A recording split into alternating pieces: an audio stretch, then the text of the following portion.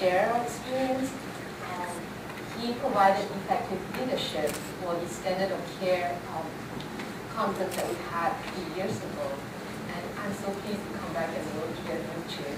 And I would like to thank Stephanie, Mrs. Miller, um, for inviting me too. And I was just struck by the name of the foundation, Hope and Light. Um, it's really the hope that we have, that these families gave us and gave me, that we can see that we have rewritten the natural history. As you have heard from Mary, in her series, her survival was 80% for SMA1.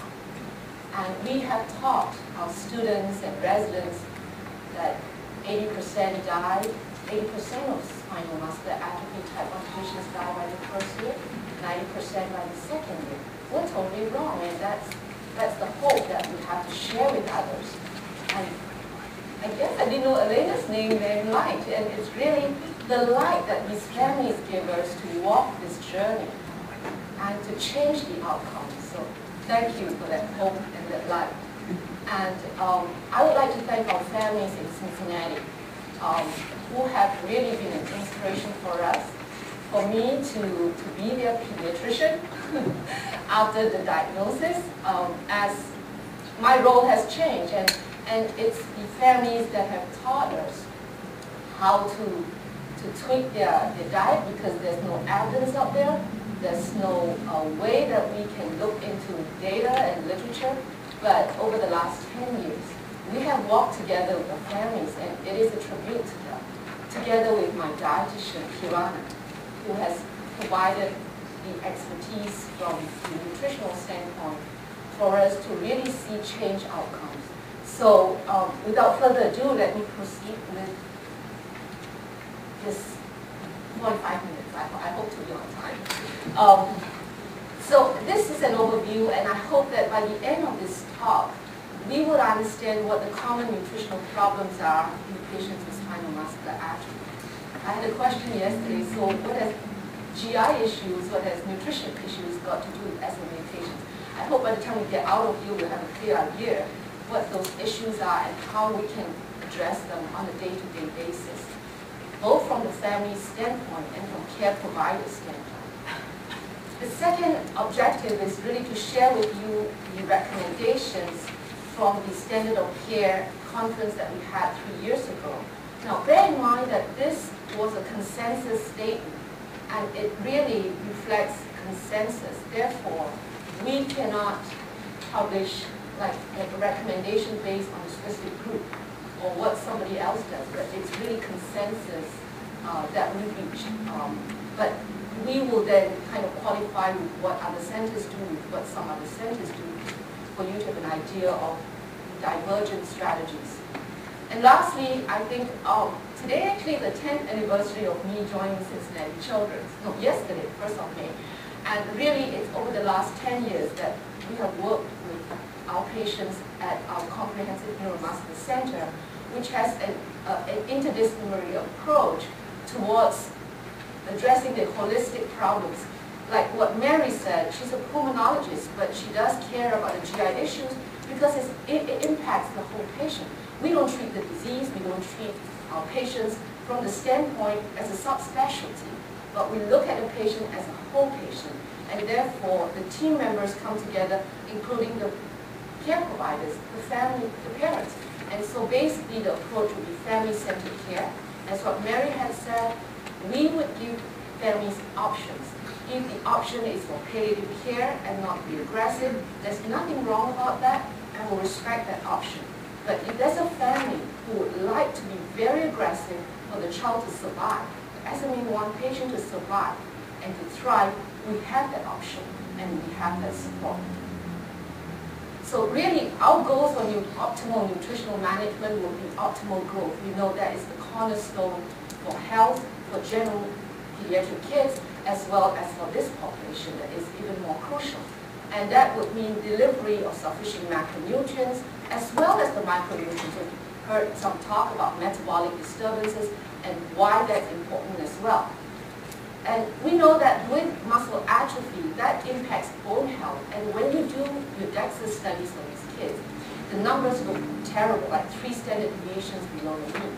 And, um, but then there are also limitations in the DEXA because it looks at the areal density. And so the thing is to follow the trend and the progression of these kids' bone density and to tweak simple things like your calcium intake, your vitamin D intake, which you don't realize that actually 40% of us in this room are vitamin D deficient. Mm-hmm. So I think that is little things that go a long way. And last but not least, we have touched a little bit on metabolic function.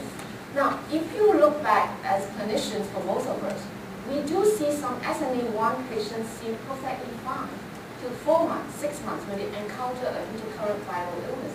And then they present with a respiratory infection, and lo and behold, they lose their motor function. What does it remind us of? A mitochondrial patient. That's what our mitochondrial patients present. They're fine, they have impaired reserves, they have impaired reserves enough to meet their needs, but when they get intercurrent infection, their impaired reserve leads them to a brownout. And that's the brownout that we see in our SMA patients. And therefore, it's crucial to think about the metabolic disturbances, and you can address and optimize the outcome for mitochondrial patients with diet and supplements. And so why not in SMA1 patients? So that is the rationale. And there is literature down that if you look into it, actually there are more references than this for abnormal fatty acid metabolism as well as for secondary mitochondrial dysfunction. So at our center for SMA1 patients at the time of diagnosis, even before we start any diet, I do a metabolic workup. You look at the lactate, you look at the pyruvate, you look at the organic acids, I can tell you 80% of the labs are abnormal, usually in the urine organic acids. And some of them were the more severe ones over years do have mildly elevated lactate. And, and that is the basis for thinking metabolic in these kids and why they crash.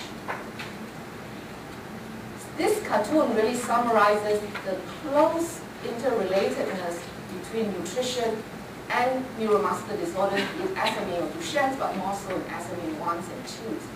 If you're malnourished, what happens? You get reduced muscle mass, and there's impaired function, and it leads to progressive muscle weakness and progressive muscle atrophy. And the weaker the child is, the less the oral intake, and then you need to failure to thrive. So it is a vicious cycle which you must nip in the bud right at the beginning, which to me is like a stitch in time since now.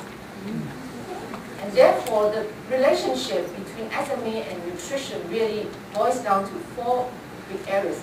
We talk about growth, but it could be suboptimal growth that is undernutrition, failure to thrive in severe SMA1s and 2s, or we have actually a big problem of obesity and overweight problems in our milder SMA2s and 3s. And the bigger you get for that stage, they actually get more subcutaneous fat tissue. And the heavier they get, you lose motor function because you have just that, that standard strength, but you don't have that strength to, to move an arm that's heavier than before. So we have seen loss of function just related to obesity. And therefore it behoves us as, as primary providers in the muscle clinic to really think about why is that kid overweight too? We actually have diagnosed insulin resistance in the SMA2. She came being too big, and guess what? They thought she was having edema. She came from an out-of-state um, facility and she had been admitted for workup demons. She had all her liver function worked up, she had everything worked up. And so they came to our clinic and they still presented the problem of she is swollen. But look, we did an MRI and she that much of subcu fat in that little muscle. And, and so it's like, look, the MRI showed all fat. It wasn't T2 signals of, of, of edema. We did an OGTT Guess what? The insulin level was like 200. It should be less than 50.